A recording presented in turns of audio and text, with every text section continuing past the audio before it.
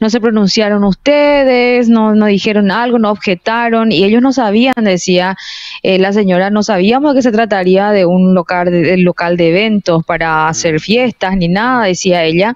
La pared que estamos viendo están todo con grieta. Eh, esto es debido al el techo también a las vibraciones que produce el alto volumen. Totalmente. Y eh, inclusive se puede divisar ahí debajo de esta pintura. Ella mandó pintar nuevo porque ya feísimo quedaba como se estaba eh, descomponiendo la pared de tanto ruido. Acá vemos la vereda. También acá, eh, acá está, se puede ver todavía abajo de la pintura inclusive cómo quedó a raíz de, del ruido inmenso que ellos tienen que aguantar cada fin de semana. Y y todos los fines de semana luego hay eventos, ¿verdad? Todos los fines de semana.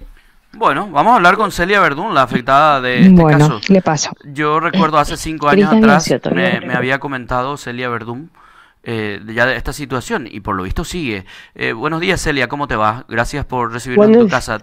Te saluda Cristian Biancio. Buenos días, señor Cristian, y a ustedes también muchísimas gracias por acceder a mi llamado, ¿verdad? Porque ya no sabía dónde recurrir, ya, ya por todos lados ya asistí, pero poca escucha tuve, y entonces le agradezco muchísimo.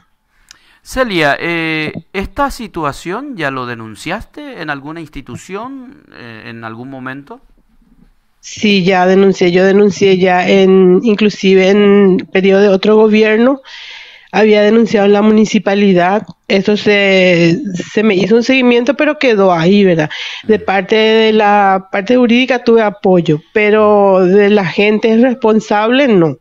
Y después tuvimos denuncia en la comisaría prácticamente casi cada ocho, casi cada fin de semana, cada vez que no puedo, asisto a ellos, pero ellos me dicen que ellos no pueden que no, no pueden venir sin una orden.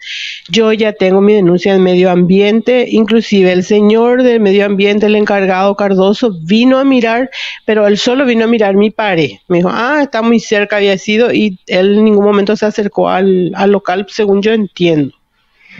Y quedó ahí.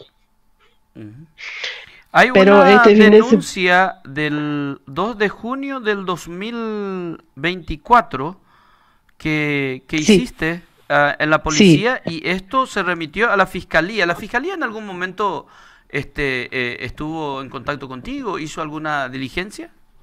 No, en ningún momento. Esa fue ya la última denuncia formal, porque ahí antes, o sea, antes que eso tengo otras denuncias. Inclusive a fin de año ellos hicieron un almuerzo, una empresa, y en esa empresa los participantes eh, terminaron en un bochinche de, gente que ya estaban totalmente ebrio. Y ahí me tuve un perjuicio muy grande porque rompieron el, el, vehículo que nosotros teníamos en el portón, porque también ese es otro motivo también que estacionamiento ellos no tienen. Y el estacionamiento por lo menos hace un par de meses que están solucionando porque consiguieron parece la esquina y ahí llevan su lugar de estacionamiento, pero la mayoría queda enfrente de mi casa y yo a veces sin poder salir ni entrar. Y cuando uno se acerca para pedirle no, no encontramos respuesta. y ellos vinieron ¿Desde cuándo que soportas? ¿Desde cuándo que estás con esta situación? Si bien las denuncias nos decís es de eh, fin de año y de junio, ¿esto es reciente o desde cuánto tiempo? Y sería ya más o menos desde el 2018 por ahí, 18 mucho antes de la pandemia. Ya en época de, del intendente Olmedo esto se había hecho, si no es antes ya luego. ¿Y, y, y tu casa está pegadísima al salón de eventos, es decir, comparten la misma pared o, están divididos por algunos metros. De hecho que de pared a pared estamos, en mi pared y después la pared ya de ellos, estamos pegados. Ellos ya construyeron después y levantaron pegadísimo. Ahora, son eh, las vibraciones de la música y todo eso lo que te, te, está generando este daño.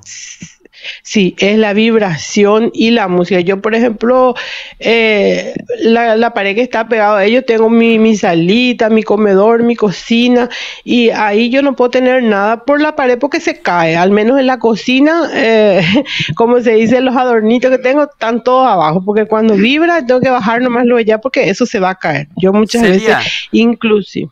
Eh, ¿Llegaste a hablar con los propietarios del local en algún momento? Sí, habíamos llegado, hablamos, inclusive hubo un momento en que ellos, eh, cuando iban a edificar su casa, creo que decidieron, querían comprar mi lugar, pero no llegamos a un acuerdo seguramente por porque yo tampoco no quiero regalar ni tampoco me quiero ir por porque sí, nomás yo por tranquilidad de mi familia era. En ese entonces yo trabajaba como docente y a veces me iba a mi trabajo sin dormir por, el, por la situación. Ahora ya estoy jubilado. te, te, causa algún efecto en tu salud esto? Porque supongo que uno quiere descansar en las noches, independientemente que los otros también tienen derecho a hacer un evento, pero eh, sin afectar la tranquilidad de los demás. ¿Te causa algún efecto en tu salud esto, Celia? Sí, ahora ya me está causando porque yo nunca sufrí de problemas de depresión y el, el sábado por lo menos yo le tuve a mi mamá, que ella es una señora adulta, ella por lo menos para no quebrantarme seguramente me dijo que no se sentía mal, pero el mío llegó a casi a 18 mi presión y amanecí en IPS y ya de los nervios, ¿verdad? causa, causa mucho... sí. sabe se sabe que los eventos sociales, por decir, tienen un periodo de auge en ciertos meses del año, pero estimo también de que eh, de los 12 meses igual hay eventos de manera permanente. O si tuvieras que decirnos en la semana de 7 días, ¿cuántos días tenés eventos ahí realizándose a tu lado? Y prácticamente estos tiempos que se estaba construyendo es lo que descansamos un poquito porque ellos ampliaron, cambiaron la losa por chapa y ahí sí que es peor porque el ruido es más fuerte. Sí, y prácticamente todos los fines de semana, porque ahora, por ejemplo, veo que se está preparando y otra vez para seguramente otro evento porque, o no sé si están alzando o bajando los elementos para volver a un evento nuevo. Celia, ¿qué es lo que pedís eh, al tener en cuenta esta situación?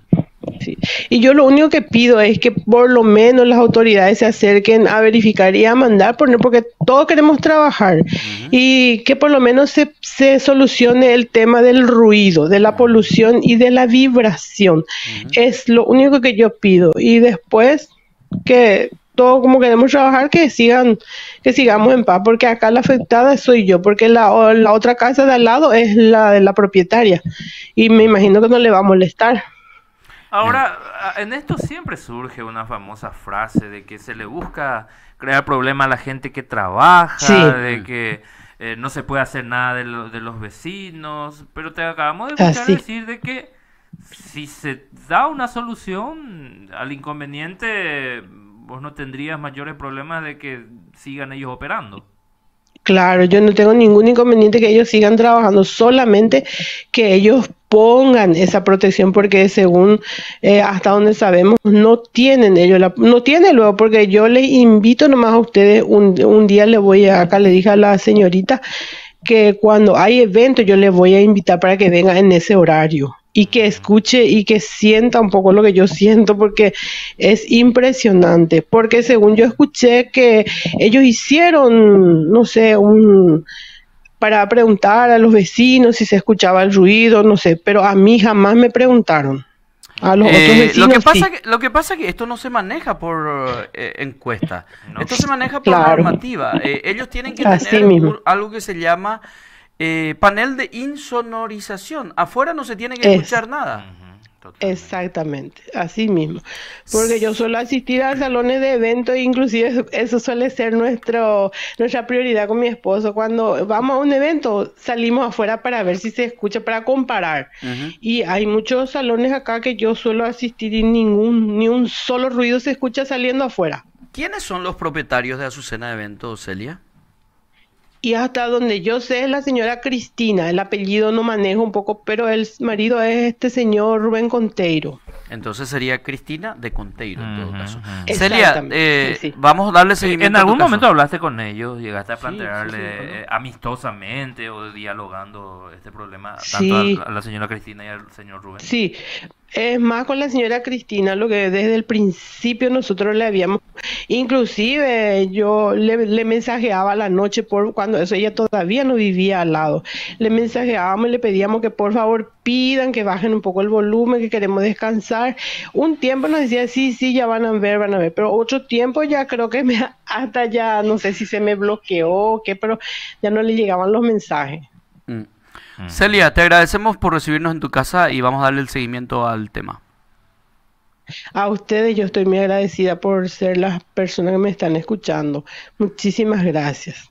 Eh, la señora Celia Verdún.